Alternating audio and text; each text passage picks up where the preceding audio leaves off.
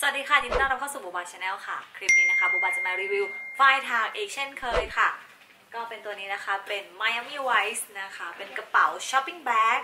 เอาไว้ใส่ของ เดี๋ยวมาดูกันดีกว่าว่าโบบาใส่อะไรมาบ้างนะคะกระเป๋ารุ่นนี้ค่ะเป็นกระเป๋าช้อปปิ้งปากกว้างนะคะ จะใช้หิ้วก็ได้หรือใช้คล้องแขนก็ได้ จุของได้เยอะมากค่ะ เราใส่อะไรก็ได้เลยนะคะ หรือจะใส่ไปทำงานก็ได้นะคะ ราะว่าบูบาเนี่ยลองเอาโน้ตบุ๊กใส่ในกระเป๋าตัวเนี้ยก็ยังใส่ได้เลยนะคะ แต่ว่ารูปทรงมันก็จะแปลกๆหน่อยเพราะว่ามันหนักนั่นเอง ต่อมาเดี๋ยวเรามาดูขนาดค่ะ กระเป๋ากว้าง 6.3 นิ้วนะคะ ฐานยาว 13 นิ้ว แล้วก็ส่วนสูง 15 นิ้วค่ะ สำหรับกระเป๋าไฟถังนะคะ จะมีความยูนิคนะคะ และผ้าใบที่เอามาทำก็จะมีลักษณะต่างกันมีหลายประเภทมีหลายแบบค่ะ อันนี้จะเป็นผ้าใบหนานะคะ ส่วนอันนี้เป็นผ้าใบบางก็แล้วแต่คนชอบ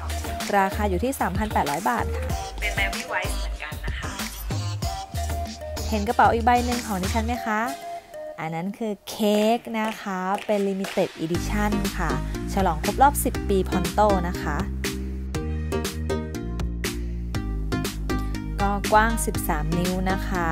ขนาดเดียวกับ Miami Vice เลยค่ะ แล้วก็มีความสูงนะคะอยู่ที่ 11 นิ้วค่ะ ฐานกว้าง 6.3 นิ้วนะคะ พูดง่ายๆก็เหมือนกับ Miami Vice เอามาผ่าค่ะทำให้มันเล็กลงสำหรับความน่ารักของ F704 หรือเค้กแบ็กนี้ ก็อยู่ตรงดาวตรงนี้ละค่ะ ดาว2ดวงนี้ ราคาก็อยู่ที่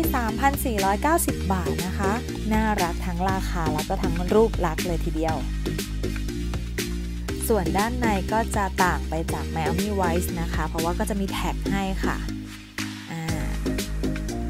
สำหรับ Miami Miami Vice ไม่มีแท็กนะคะ อีกด้านหนึ่งค่ะก็จะเป็น Ponto 10 years นี่ สำหรับการใช้งานก็แล้วแต่คนถนัดแบบไหนก็ใช้ไปเลยจ้า ใจะหิ้วจะถืออะไรก็ได้อย่างนี้ ค่ะก็ขอรีแคปอีกรอบนึงนะคะสำหรับพื้นผิวของตัวผ้าใบไมอามี่กับตัวเค้กนะคะ หรือว่ากระเป๋าไฟถ่ายรุ่นต่างๆก็ตามนะคะ ก็จะมีลักษณะต่างกันมันยูนิคมันแล้วแต่ประเภทแล้วแต่แบบค่ะ